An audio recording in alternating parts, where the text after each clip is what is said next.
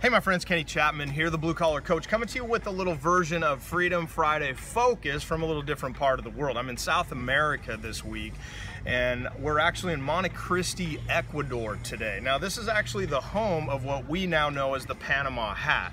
Why is it known as the Panama hat? It's because Teddy Roosevelt bought one of those hats here in Monte Montecristi, but then was seen wearing it in Panama, so therefore they embraced that story as they went. Now, what does this mean to you and I? I want you to think about your business. I want you to think about your brand, because what happens, guess what? If you don't control your brand, somebody else will. What else does this mean? Perception becomes reality when it comes to clients, right? So what people think about becomes their reality based on their perception. So when we think about about a town like this now. We've been walking around. Christy and I bought some uh, some different baskets and different things. The hats just don't look quite right on me, so I'm gonna uh, i will resist the temptation to bore you with me uh, shooting this in a hat. But point is, they're we're, we're, seeing how they're handmade and different things, and I want you to challenge your perspective a little bit. I shot for, for you from Machu Picchu a few days ago, but I want you to think about, you know, we, we were just up at a, one of the little factories, and and these these ladies like hunch over like this, and they just go all all day, all day, eight hours a day. So I want you to check your perspective.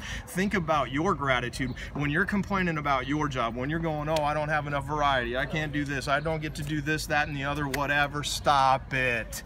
You're not sitting there eight hours a day making hats by hand that take up to a month and you can buy them for $40. What do you have to complain about, huh?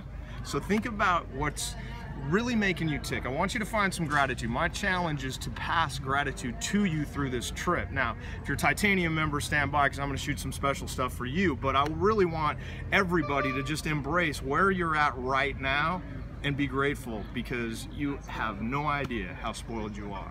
Maybe you do, but I'm here to remind you. Until we talk, my friends, have a better than fantastic Friday, and we'll see you soon.